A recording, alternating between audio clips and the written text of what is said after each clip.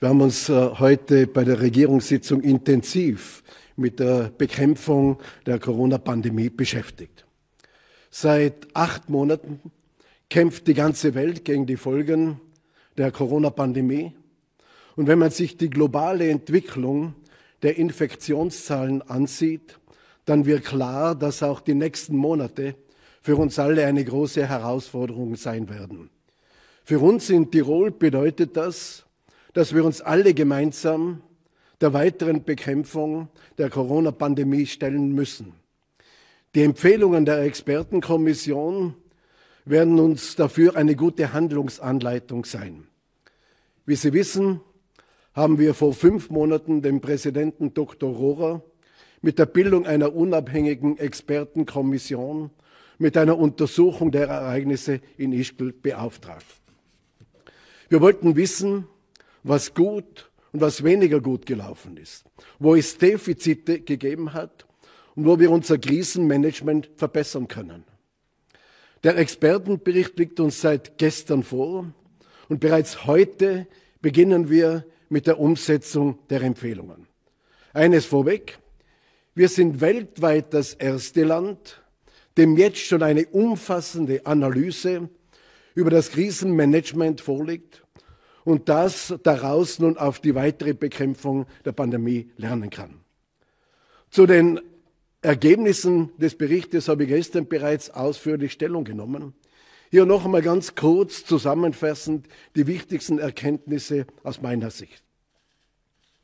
Die Expertenkommission hat eindeutig festgestellt, dass die Behörden bei einer noch nie dagewesenen Krisensituation ein enormes Arbeitspensum bewältigt haben.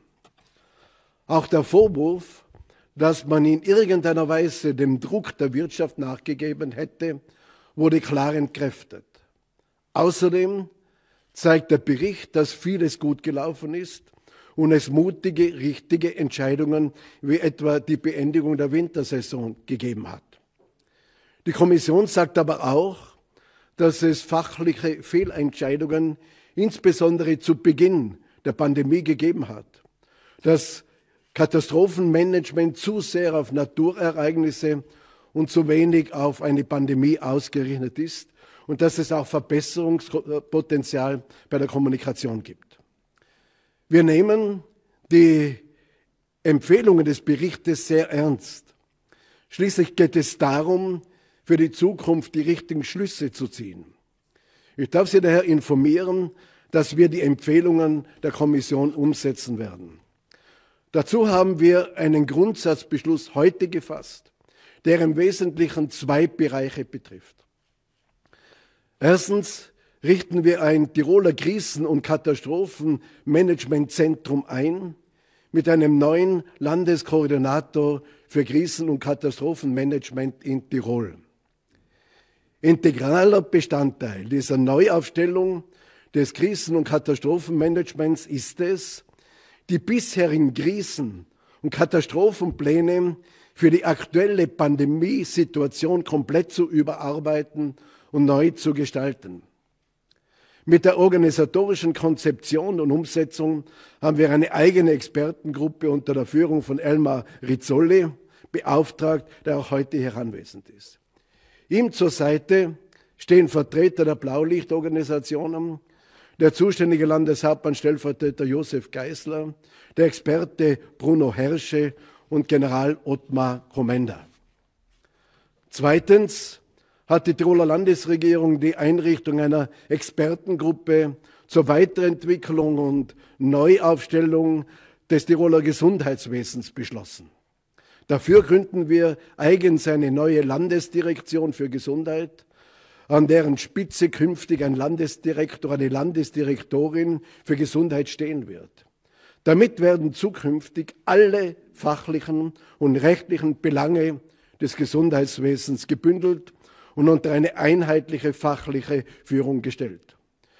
Für diese Expertengruppe steht uns Universitätsprofessor Dr. Günther Weiß zur Verfügung, bedanke mich sehr herzlich. Weiters in dieser Gruppe vertreten werden sein zum Beispiel Ärztekammer, Gesundheitskasse, der zuständige Landesrat und medizinische Expertinnen und Experten. Sie sehen also, die Tiroler Landesregierung nimmt den Bericht der Expertenkommission sehr ernst und leitet die Umsetzung ihrer Empfehlungen unverzüglich in die Wege. Wie wichtig das alles ist, zeigt allein schon ein Blick auf die aktuelle Corona-Situation. Überall steigen die Infektionszahlen wieder stark an. EU-Staaten wie Frankreich oder Deutschland melden Rekordzuwächse. Städte wie Madrid befinden sich erneut im Lockdown und auch wir in Tirol haben die Marke von 1000 Infizierten heute überschritten. In Anbetracht, dass 45 Patientinnen und Patienten, die mit heutigem Stand in unseren Spitälern behandelt werden müssen, acht davon in der Intensivstation, werden Kritiker Folgendes sagen. Das ist ja alles nicht so dramatisch. Es gibt keinen Anlass zur Sorge. Ich aber sage, unsere Infektionszahlen sind zu hoch und müssen so schnell es geht gesenkt werden.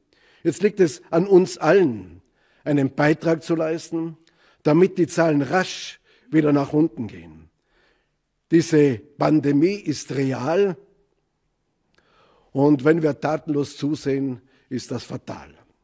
Denn es hängt von unseren Infektionszahlen ab, ob der Wirtschaftsstandort Tirol stabil bleibt und nicht Zehntausende Tirolerinnen und Tiroler ihren Arbeitsplatz verlieren. Dafür benötigt es eine gemeinsame Kraftanstrengung. Diese Corona-Pandemie ist noch nicht vorbei. Die nächsten Wochen und Monate werden entscheidend sein. Umso wichtig ist es, dass wir aus der Vergangenheit lernen.